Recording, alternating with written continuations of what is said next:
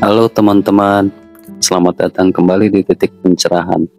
Kali ini kita akan membahas sebuah topik yang mungkin pernah kita alami bersama, yaitu bagaimana cara menghadapi teman yang selalu ada di saat kita senang, tapi menghilang saat kita menghadapi kesulitan. Pertemanan adalah salah satu hal yang sangat berharga dalam hidup kita. Namun, terkadang ada teman yang muncul hanya di saat-saat menyenangkan dan menghilang ketika kita membutuhkan mereka. Hal ini bisa membuat kita merasa kecewa dan bingung. Bagaimana seharusnya kita menanggapi situasi ini? Satu, kita harus mengidentifikasi pola perilaku. Pertama-tama, kita perlu mengenali pola perilaku teman tersebut Apakah ini pola yang sudah terjadi berkali-kali atau ini hanya terjadi dalam situasi tertentu saja? Setelah mengenali pola perilaku teman tersebut, langkah berikutnya adalah memahami apakah pola tersebut terjadi secara konsisten atau hanya muncul dalam situasi-situasi tertentu. Hal ini membantu kita untuk lebih memahami latar belakang atau penyebab perilaku tersebut. Misalnya, apakah perilaku tersebut dipicu oleh stres, perubahan lingkungan, atau faktor lainnya. Dengan memahami konteks dan konsistensi pola perilaku, kita dapat lebih baik dalam merespon atau memberikan dukungan yang dibutuhkan kepada teman kita. Dua, berpikir dari perspektif mereka. Cobalah untuk melihat dari perspektif teman tersebut Mungkin ada alasan tertentu mengapa mereka berperilaku seperti itu. Mungkin mereka sedang mengalami masalah atau kebingungan sendiri. Melihat dari perspektif teman tersebut bisa membantu kita memahami alasan di balik perilaku mereka. Mungkin mereka sedang mengalami masalah pribadi yang tidak kita ketahui, atau mereka sedang menghadapi situasi yang membuat mereka bingung atau stres. Dengan mempertimbangkan hal ini, kita dapat lebih empati dan menghindari kesimpulan yang terburu-buru atau menilai mereka secara salah. Banyak konflik dapat dihindari dengan pendekatan ini karena kita lebih cenderung untuk berbicara dan berinteraksi dengan pengertian dan penghargaan terhadap keadaan mereka. Tiga, komunikasi terbuka. Jika memungkinkan, lakukanlah komunikasi terbuka dengan teman tersebut. Bicarakan mengenai perasaan kita, tanpa menyalahkan mereka. Jika mereka adalah teman yang peduli, mereka akan mendengarkan dan mencoba memahami posisi kita. Komunikasi terbuka adalah kunci dalam menjaga hubungan yang sehat dan membangun kedekatan yang lebih baik dengan teman kita. Saat kita menghadapi situasi atau perasaan tertentu, penting untuk membicarakannya dengan jujur dan tanpa menyalahkan mereka. Dalam percakapan ini, kita dapat mulai dengan menyampaikan perasaan kita secara langsung, misalnya dengan mengatakan, "Aku merasa agak tersakiti dengan situasi ini dan ingin memahami lebih dalam." Mengungkapkan perasaan kita dengan cara yang jelas dan tulus membantu teman kita untuk memahami perspektif kita.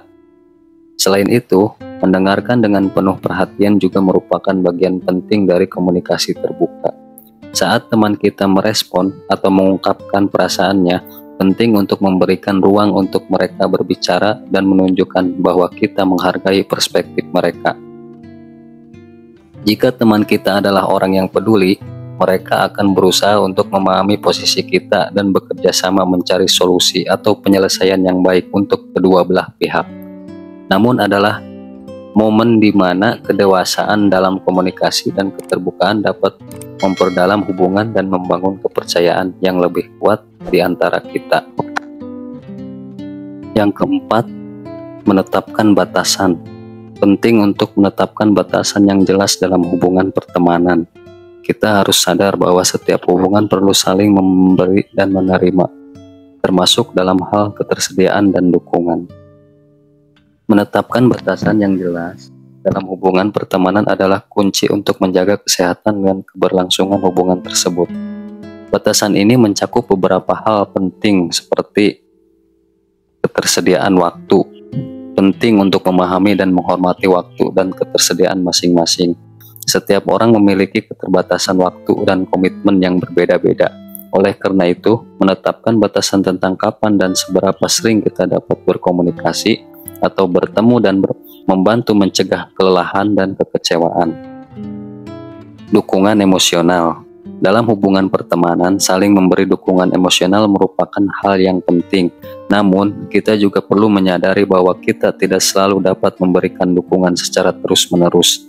Menetapkan batasan tentang bagaimana kita bisa mendukung teman dalam situasi tertentu tanpa merasa terbebani atau melelahkan adalah hal yang sehat.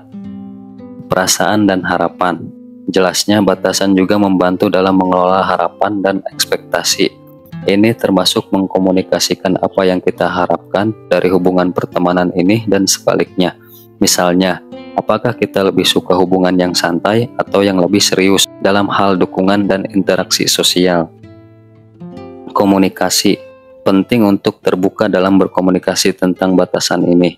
Ketika kita mengkomunikasikan kebutuhan dan harapan kita dengan jelas, kita membuka ruang untuk pembicaraan yang lebih jujur dan mendalam tentang bagaimana kita dapat saling mendukung dan merawat hubungan ini. Dengan menetapkan batasan yang jelas, kita dapat menciptakan hubungan pertemanan yang sehat dan berkelanjutan, di mana kedua belah pihak merasa dihargai dan didukung tanpa merasa terbebani. Dan yang terakhir, yang kelima, yaitu menjaga keseimbangan emosional. Terkadang kita perlu menghadapi kenyataan bahwa tidak semua orang dapat menjadi teman sejati dalam segala situasi. Tetaplah tenang dan jaga keseimbangan emosional kita dalam menghadapi dinamika hubungan pertemanan.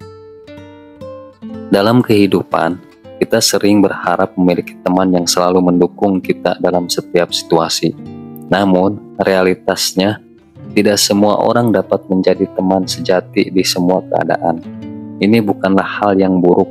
Ini adalah bagian dari dinamika hubungan pertemanan yang kompleks. Menjaga keseimbangan emosional dalam menghadapi hal ini sangat penting. Pertama-tama, penting untuk memahami bahwa setiap orang memiliki batasan dan kekuatan dalam hubungan sosial mereka. Beberapa teman mungkin lebih baik dalam mendengarkan kita saat kita sedang kesulitan emosional, sementara yang lain mungkin lebih baik dalam memberikan dukungan praktis atau nasihat. Kedua, tetaplah tenang dan tidak terlalu terpaku pada harapan yang berlebihan terhadap teman. Bukan berarti mereka tidak peduli atau tidak penting dalam hidup kita, tetapi kita harus realistis bahwa tidak semua orang bisa hadir dalam setiap aspek kehidupan kita. Ketiga, jaga komunikasi yang jelas dan terbuka. Terkadang, kesalahpahaman atau ekspektasi yang tidak realistis dapat mengganggu hubungan. Dengan berkomunikasi dengan jelas, kita dapat memperjelas harapan kita dan membangun hubungan yang lebih kuat. Terakhir, ingatlah bahwa kita juga memiliki peran untuk mendukung diri sendiri. Mengembangkan kegiatan dan minat yang independen dari hubungan pertemanan dapat membantu kita mempertahankan keseimbangan emosional kita, bahkan ketika dinamika hubungan berubah. Dari pembahasan kita tadi, kita dapat menyimpulkan bahwa dalam menghadapi teman yang selalu ada saat senang dan menghilang saat sulit, kita perlu memahami bahwa setiap orang memiliki caranya sendiri dalam menjalani hubungan pertemanan. Jika situasi ini terus berlanjut tanpa ada perubahan, terkadang memang lebih baik untuk memberikan ruang pada pertemanan yang lebih sehat dan saling mendukung. Jadi, itu teman-teman pembahasan kita hari ini.